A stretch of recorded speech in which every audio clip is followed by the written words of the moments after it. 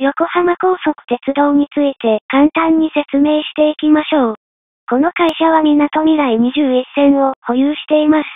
横浜駅から元町中華街へ向かう路線で、観光客にも便利ですし、港未来の新都心へのアクセスは、これが最も便利です。この会社は第3セクターで、地下鉄の部類に分けられる会社ではあります。この部類では、臨海線も地下鉄ですし、いろいろ感覚的には違いますが、確かに港未来線の駅はどれも地下シンクにありますね。既存のインフラを壊せないからですが、大変深く、地下5階などもザラです。もともと東急東横線が走っていたような区間でもありました。高島のあたりは東横線が走っており、都心の桜木町駅に至る路線でした。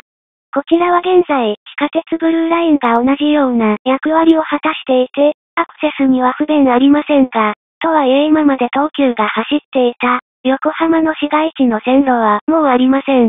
横浜駅は完全に地下に潜りました。これからは横浜高速鉄道、港未来線に直通です。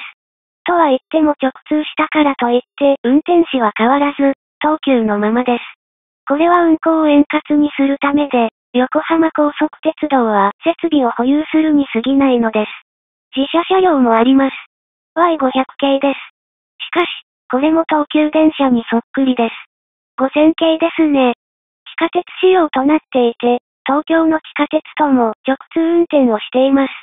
東京の地下鉄へは、有楽町線や副都心線で、東横線の渋谷駅、地下化によって直通するようになったのです。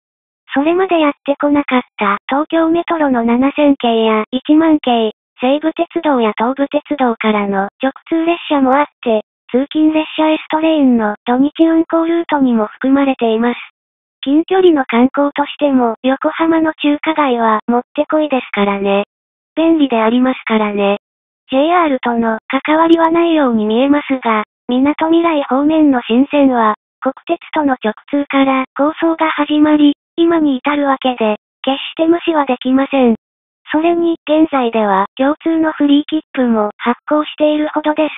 やはり港未来線は、通勤だけでなく、観光ありきでできているような路線でもありますね。面白いものです。横浜高速鉄道自体は、その鉄道の運賃が高いこともあってか、黒字経営です。第3セクターの多くは、その形で黒字を取っていますよね。なお、横浜には横浜市営地下鉄もあるわけで、そことは別の会社ですね。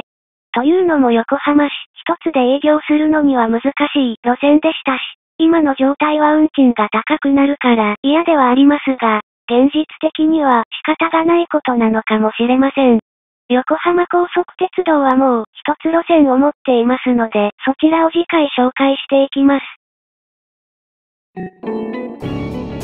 ご視聴いただきありがとうございました。当チャンネル、マイトリップでは、毎日投稿の名列車ほぼ日編、週1回の昭和編や、旅行記など多くの動画を投稿しております。よかったらチャンネル登録、高評価をお願いします。今回もご視聴ありがとうございました。ではまたお会いしましょう。